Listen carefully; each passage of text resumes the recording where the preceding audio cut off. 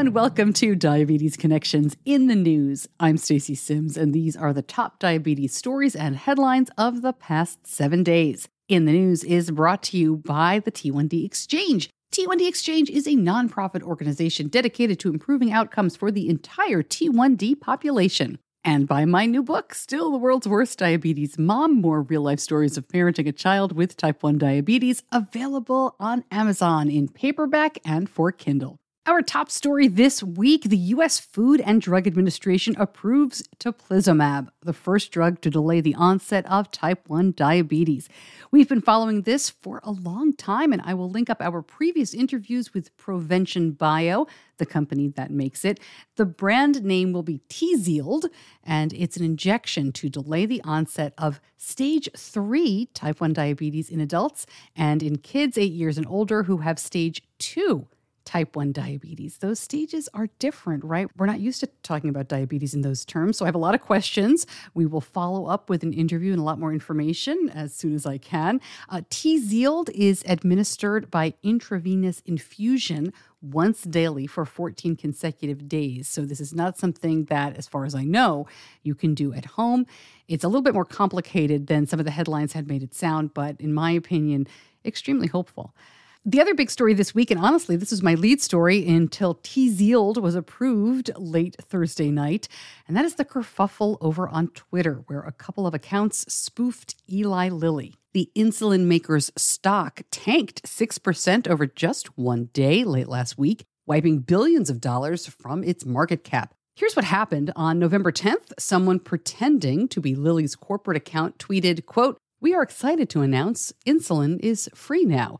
Twitter, under new owner Elon Musk, was verifying any account with any name for just $8. Another verified but fake Lilly account tweeted profanities and taunted people who use insulin with higher pricing. Again, also fake.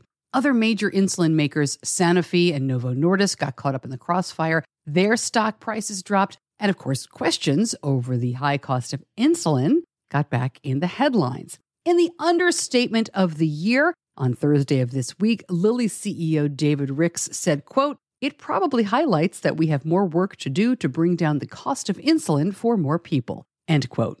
Mice with diabetes appeared cured after transplantation of insulin secreting pancreatic islet cells, according to a Stanford medicine study. The animals' immune systems were coaxed, they say, to accept the donated cells prior to transplantation through a three pronged process that could, quote, be easily replicated in humans, the researchers said. No immune suppressing treatments were necessary after the transplant.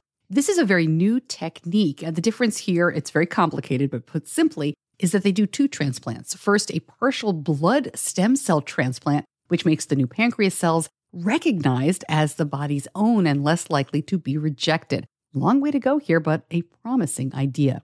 New study on full pancreas transplants. These researchers say up to 90% of people who received a pancreas transplant enjoy freedom from insulin therapy and the need for close glucose monitoring. Biggest drawback is having to take immunosuppressants for the rest of their life. The number of pancreas transplants has gone down in recent years. A new paper this week in the Journal of Clinical Endocrinology and Metabolism says this isn't a long term cure, the median graft survival is about eight years, and the transplanted pancreas does not always work well, so the patient might not be completely insulin free. However, the researchers do say that the combined kidney pancreas transplant should be considered for all patients with type 1 with an indication for a kidney transplant.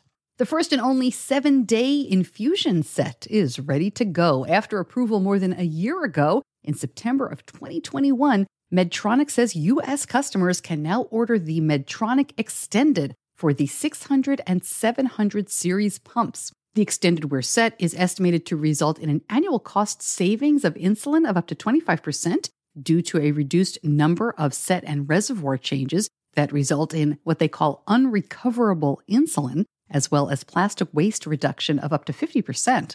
Medtronic is sending emails out regarding CareLink software outages and thanks to you listeners who sent me this, we are not Medtronic customers, so I did not get this. They say that uh, most customers they were able to resolve the issue very quickly through an app fix. You had to log out and log back into CareLink. You can try that if you haven't done that yet, but they say they know it didn't work for everybody. And they say Medtronic is still working to resolve the issue for some customers. They also say this was not because of a security breach, but they didn't give further details. There's a recall for Omnipod. This is an issue with the Omnipod 5 controller, charging port, and cable. This does not impact the Omnipod 5 pod, the Omnipod Dash system, or the Android smartphone devices with the Omnipod 5 app. Now, no serious injuries have been reported, but Insulet has received reports that the Omnipod 5 controller charging port or cable is discoloring or even melting due to excess heat. Customers are instructed to call them or log into an FDA site. I will link up all of the information, the phone number, and the website in the show notes at diabetes connections.com. This was a voluntary recall. They were not ordered to do so by the FDA. Small study shows that using the Dexcom G7 is easier for older adults to insert and use. This was a small but pretty interesting study. They recruited 10 people over the age of 65 with no prior CGM experience and 10 diabetes educators took part as well. They reported that the G7 required half as many steps to set up and deploy as the G6 system, and the survey scores were 92.8, which investigators say was reflective of an excellent usability rating. Control IQ for people with type 2 works well and is safe. New study from Tandem Diabetes Care shows people with type 2 spend 3.6 hours a day longer in the target range after switching to the t:slim X2 pump Dexcom system from multiple daily injections or basal insulin only. New program from Walgreens to help give more people access to information and diabetes services. Walgreens is teaming up with its health corners and third party clinics to offer free A1C and blood glucose testing and diabetes education during this Diabetes Awareness Month. For participating locations, go to walgreens.com slash free diabetes screening, and I will link that up. Interestingly, Walgreens says they are the largest provider of CGMs, including the Dexcom G6 and Freestyle Libre 2. Very large study out of China says sleeping in a room exposed to outdoor artificial light at night may increase the risk of developing diabetes. 100,000 Chinese adults were in this study, and they found that people who lived in areas of China with high light pollution at nighttime were about 28% more likely to develop diabetes than people who lived in the least polluted areas. I told you about a study published earlier this year that showed sleeping for only one night with a dim light, like a TV set with the sound off, raises blood sugar and heart rates of young people during that sleep lab experiment. But these researchers in China caution any direct link between diabetes and nighttime light pollution is still unclear, because just living in an urban area itself is a known contributor to the development of diabetes. New study says women with PCOS, polycystic ovarian syndrome, were found to be at a higher risk for developing type 2 over a 30 year period. One study estimated that nearly one in five adolescent girls with type 2 also has PCOS. The nature of the link, though, is not fully understood. There is evidence that correcting the hormone imbalances seen in PCOS may reduce the risk of developing type 2, a different study showed that taking oral birth control pills as a treatment for PCOS reduced the risk for type 2 diabetes. Back to the news in just a moment, but first, let me tell you about the T1D Exchange. I've been telling you about this for a while. Your personal information remains confidential, and I really urge you to sign up. T1D Exchange Registry is a research study conducted online, and the platform is open to adults and kids with type 1 living in the United States.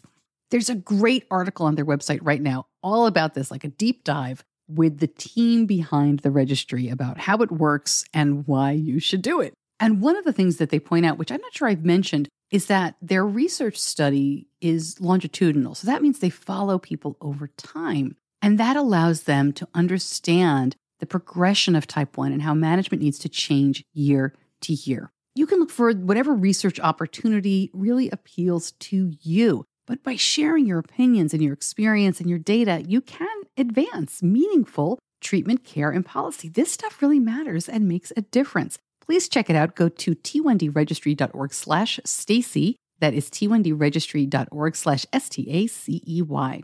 This week marks the Fall 2022 DiabetesMine Innovation Days.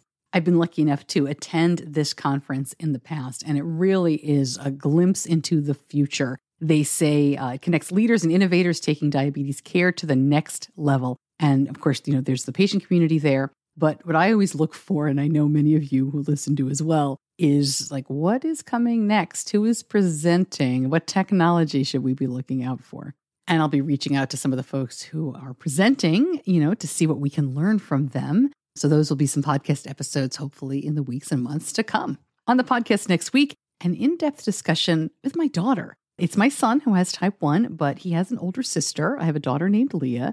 And we did a long interview about what it's like to be a sibling of a child with type 1 diabetes. She was five when her brother was diagnosed. She recently turned 21. She has a lot to say about this subject. And I gotta tell you, I don't think we solve anything, but I think there's some really good advice through our experiences for families, you know, that are going through something similar. So I'm really, I'm proud of her that she did that. And it's, uh, I'm excited to bring it to you. And last week's episode was all about Eversense E3 and the future of long term continuous glucose monitoring. That's the CGM that stays under the skin for six months. And what is next from that company? You can listen wherever you get your podcasts. There will be no in the news next week because of Thanksgiving. There will be a regular episode, like I said, my interview with Leah. And that is it for In the News this week. If you like it, please share it. Thank you so much for joining me, and I'll see you back here soon.